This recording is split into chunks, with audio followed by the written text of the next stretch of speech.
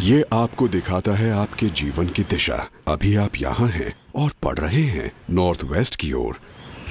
ये बल है आपका बल, गो नॉर्थ वेस्ट लेक्सस, हर राह की मंजिल।